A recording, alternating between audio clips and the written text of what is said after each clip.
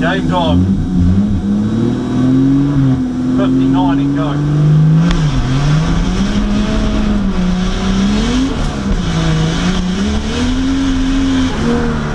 Out wide.